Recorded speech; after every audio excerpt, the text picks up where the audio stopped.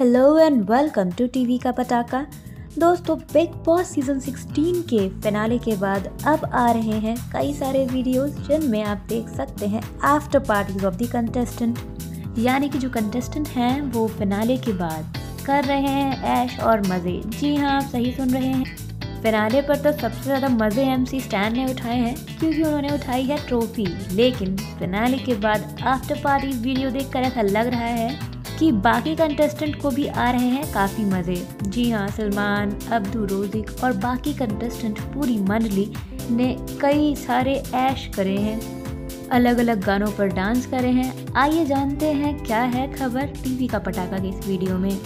उसके पहले अगर आपने नहीं किया है चैनल को सब्सक्राइब तो डू सब्सक्राइब टू टीवी का पटाखा and do not forget to press the bell icon आइए चलते हैं अब खबर की ओर।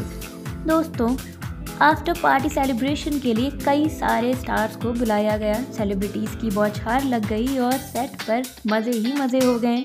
शानदार आफ्टर पार्टीज़ के वीडियोस हो रहे हैं। वायरल और फ़िलहाल हमारे हाथ लगी है एक ऐसी वीडियो जिसमें आप देख सकते हैं सलमान को नाचते हुए, गाते हुए और खेलते हुए।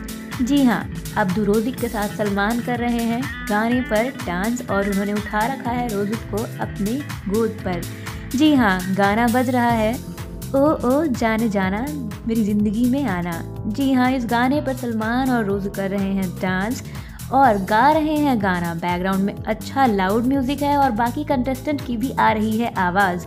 आफ्टर पार्टी काफ़ी ज़ोरों शोरों से चल रही है और मंडली के कंटेस्टेंट कर रहे हैं बहुत इंजॉय सलमान भी कंटेस्टेंट के साथ उठा रहे हैं लुत्फ। लेकिन सबसे बड़ी बात यह है कि ट्रॉफी गई है एमसी स्टैन यानी मंडली के कंटेस्टेंट के पास तो मंथली के तो अलग ही चार चाँद लगे हुए हैं। इस पर आप क्या कहना चाहेंगे, कमेंट सेक्शन में ज़रूर बताएँ। वीडियो को लाइक एंड शेयर करना ना भूलें।